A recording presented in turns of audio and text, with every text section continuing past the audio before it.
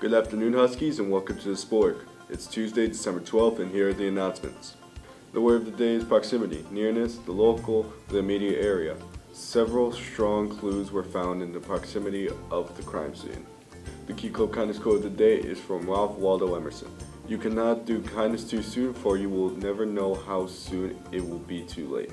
Contracts for the senior prom will be in paper form and they will be at the front security desk this week. They must be handed in with their prom big collections, which will be at the school in the front lobby from January 3rd to January 17th. Cash checks made out to the MRHS SAF for $125 will be accepted. Contracts will only be accepted at the prom collection.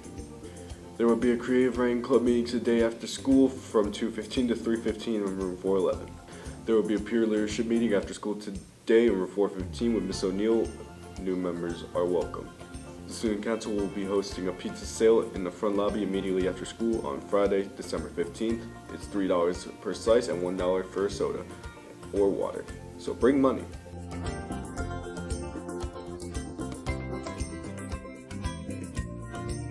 There will be no after school tutorial for English with Miss Whitney on Friday, December 15th. There will be physics club meetings immediately after school on Thursday and Friday in room 623. The next math competition will be this Thursday, December 14th, right after school in room 403. Are you interested in attending the Model UN conference at Seton Hall University? Please attend our interest meeting after school this Thursday, December 14th in room 621. All new members are welcome. African American Student Union will have a meeting tomorrow at 2.15 in room 609. Please join the Google Classroom for important information and to sign in for the meeting.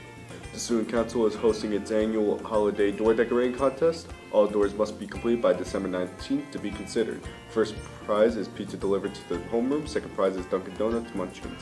Decorations must be removed by January 2nd. Prizes may be redeemed in January.